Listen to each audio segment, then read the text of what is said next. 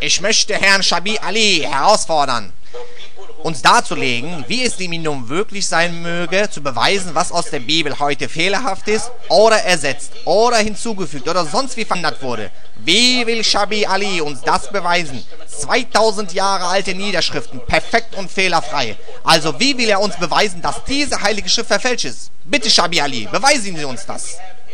Dr. Soros fragt also, wie können wir nun beweisen, dass die Bibel verfälscht ist? Im Übrigen, Dr. Soros, gibt es tausende Versionen Ihrer Bibeln, vom Alten und Neuen Testament.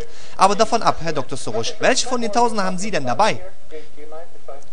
Sie haben Ihre eigene. Kann ich bitte Ihre haben, Dr. Soros? Ich bräuchte Ihre. Bitte. Vielen Dank, Herr Soros.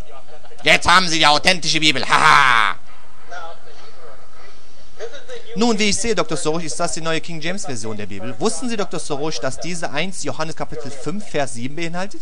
Den berühmten Vers zum Nachweis der Trinität im Neuen Testament? Sind Sie sich darüber im Klaren, Dr. Soros? Und erinnern Sie sich an die vorherige Ansprache in der Debatte, in dem Sie selber darlegten, dass dieser Vers eine spätere Hinzufügung darstellt.